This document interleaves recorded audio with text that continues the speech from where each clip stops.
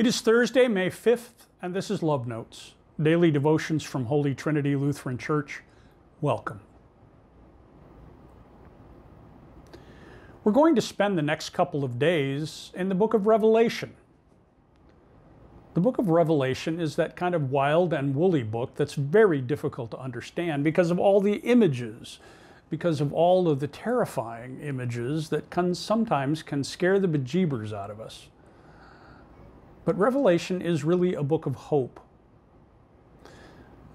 Today, we're going to begin in chapter 5, where John the Seer, the writer of this incredible vision called Revelation, sees in the right hand of the one seated on the throne a scroll written on the inside and on the back, and it's sealed with seven seals. That's how scrolls were sent to different people. They'd be sealed with wax seals so that you'd know when you got it whether it was broken or not. This one has a lot of seals. It's got seven seals.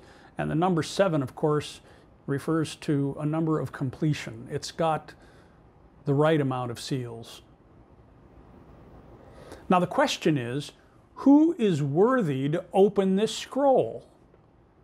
The seals when they were used on a scroll usually meant that it was only supposed to be opened by the one who was to receive the message, uh, the one who had the authority and the power to open it up. If the scroll was intended for Caesar, only Caesar should open it.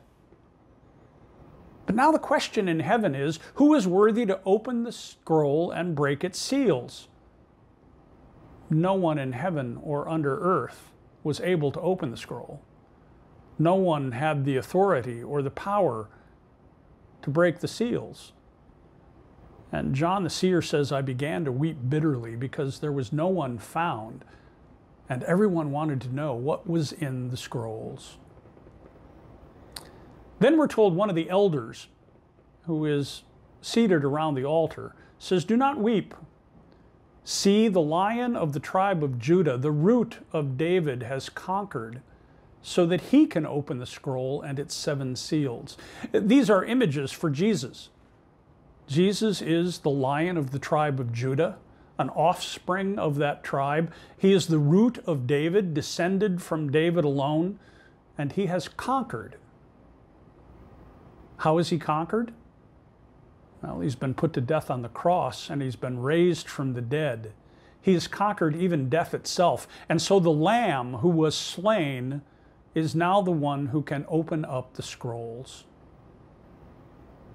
And the lamb there appears, slaughtered.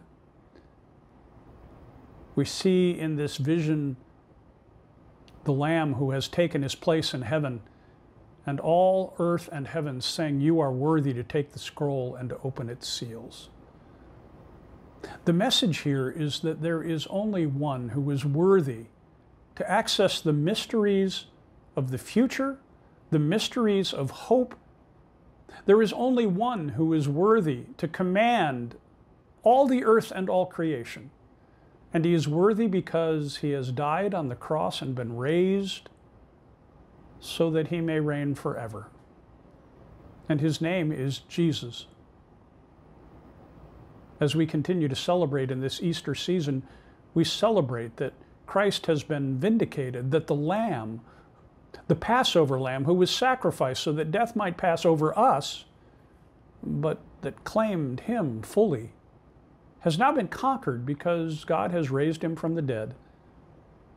And that gives him authority that no president, no emperor, no economy, no nation, and no one else ever had or shall have except him.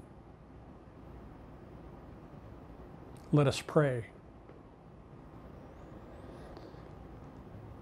Almighty God, there is only one who is worthy, worthy to rule your kingdom, your kingdom of peace and justice, love and hope. There is only one worthy to dispense your grace and mercy upon the world. His name is Jesus, and we ask, Lord, that you would open our hearts so that we receive him and that we would displace every other thing that competes for his authority Worthy is the Lamb. We ask this in His holy name. Amen.